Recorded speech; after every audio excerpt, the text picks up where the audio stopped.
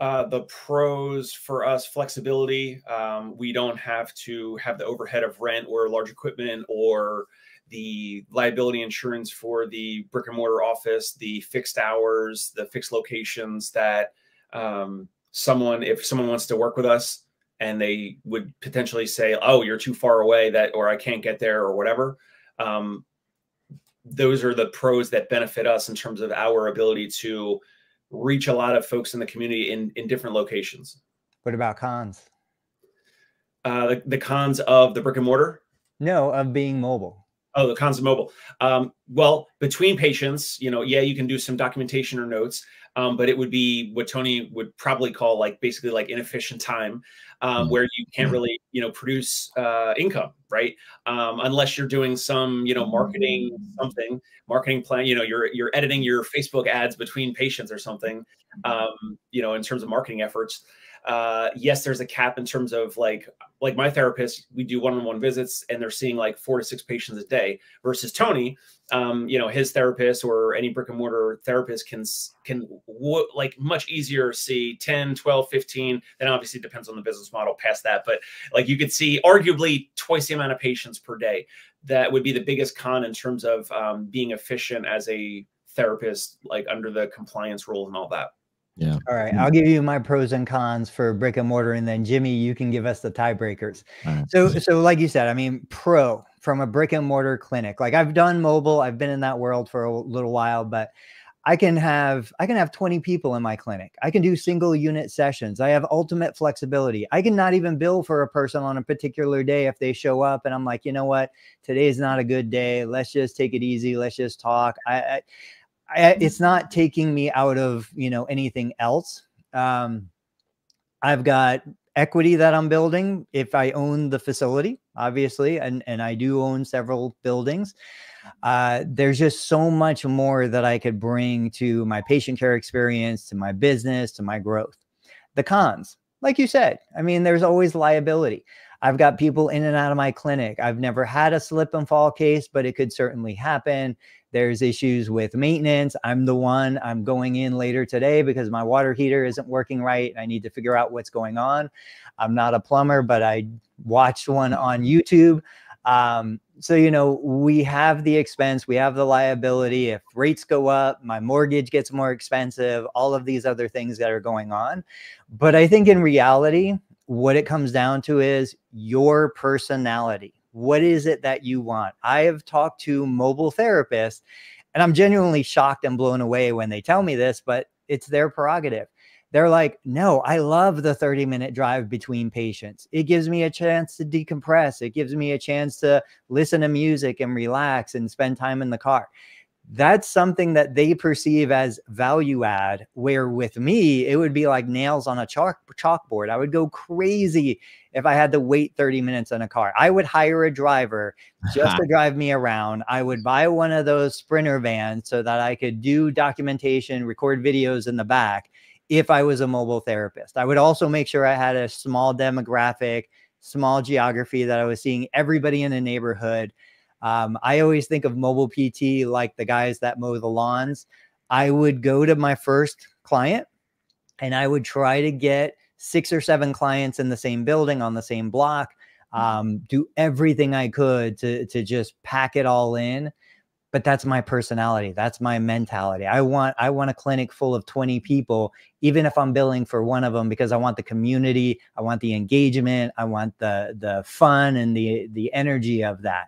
Yeah. So Jimmy, what do you think? Yeah, it depends, right? It's where I get to play it safe and be in the middle. Oh, you got to pick one. Come on. so cost. Well, I mean, it also depends on where you were. All right, like so, like Dave's in New York City and Tony's in Ohio, and I worked. I used to work for Fox Rehabilitation. When people ask me what that was, I'm like, it's Uber for geriatric PT, uh, for grandma. It's like those individuals they were treating were never getting to a to a clinic they were so deconditioned or they didn't have a ride. There were so many barriers. They were like, those people are never getting seen. That's a problem. That's also an opportunity. So they were like, let's find therapists who are not like Tony, who are like Dave to do those things. And they love those things, right? Then you can also get smart with AI and make sure does the math math. Um, and also, you know, with what Tony's talking about, you can do, you have you have flexibility. People look at people look at brick and mortar with lacking of flexibility, but you can do a lot of different things um, in a location, as Tony's talking about, group classes, or you know, you can do subscription models.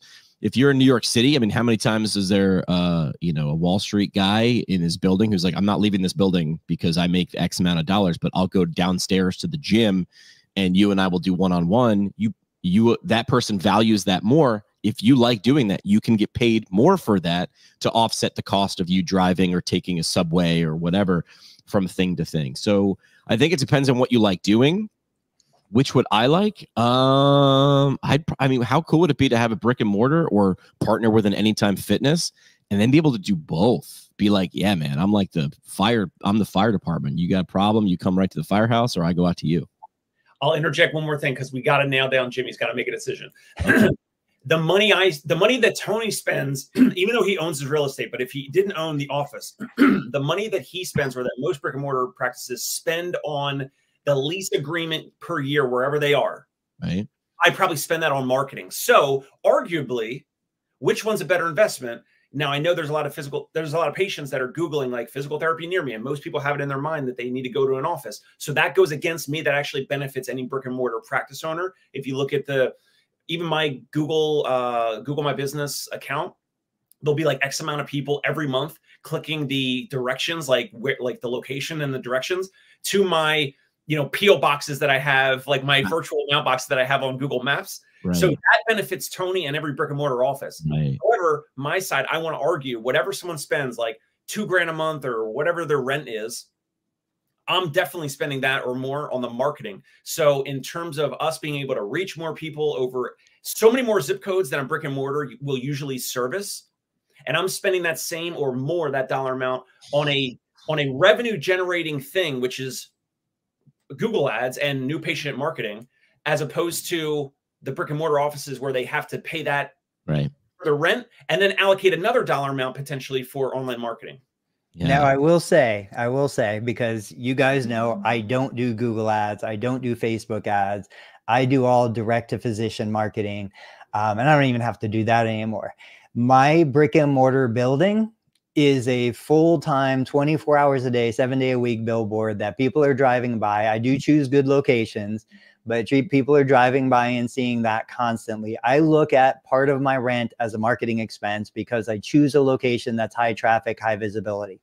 The other part that I always do, and I run the numbers for my my people that take my Medicare billing courses, look, think about 15 minute commute time. And I think 15 minute commute time between sessions is reasonable.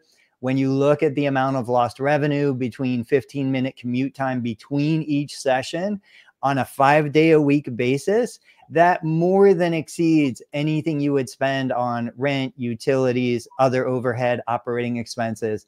I've honestly, seen it be about the same from a cost perspective on what it costs to run a mobile business compared to what it costs to run a brick and mortar. Yes, it's true. You don't sign a three year lease when you're doing mobile, but truthfully, not to offend, and I don't think I will, I don't know that I've ever seen anybody start a physical therapy business and go out of business. Huh. Um, even if they're not making as much money as they want, even if they pivot, going back to what we talked about earlier, they might start thinking, I want to do this and turn out doing that. But they've generally always been pretty successful. I mean, we're in a high demand, high need occupation. There's people who need our services. It'd be pretty funny, Dave, if you could run an ad or figure out how to do it where if I clicked on directions, it was at their house. Like, you know what I mean? like, how cool would that be? It's like, how do I get to how do I get to where Dave treats? It's like he's in the call is coming from within he's in the building he's, in, he's already in my building knock knock knock dave's at the oh, door I, I, wish i wish because on google maps you click on you know you find some you know like total therapy solutions or concierge pain relief whatever you click on it and and people just hit that it's usually highlighted in blue with white font like directions so they click that and it's going to take the individual to the address of of whatever pin the therapy practice. So I want I, I want I the I want the where they are and where you are to be the same. Just yeah. They'll be like, what does that mean? It's like, well, we come to you, right? Any hacker, any hacker, reach out to me. Let's see if we can do it right. legally. So I think eh, you know, and this is going to be like it's pretty much whatever you like to do. But if I had to pick one, I think you can do you could do mobile with a brick and mortar, but you couldn't do brick and mortar if you were just mobile. So Tony could be like Tuesdays and Thursdays. I'm not in the office. I'm I'm coming to you. You couldn't do that the other way. That's a good point. There also are ways like you know people in New York City are like uh, I don't have a clinic, but I'm going to come to your office, and there's a gym in every office building, and there's a pretty much a gym in every single you know residence or walk up. You know, um, so I would say, um, I guess brick and mortar to start, but also I don't know. But who the hell? I run a podcast from my kitchen. Uh, start a podcast, everybody. It's what everybody else is doing. I would say mobile to start with. Yeah, if you have that desire, you move into brick and mortar. You know, it just like Jimmy said, it depends on what you want, your personality type, what you hope to deliver. Um, let's hit one more yeah. because I actually I love these topics that strike a nerve, and this one kind of struck a nerve. So I had been saying you don't have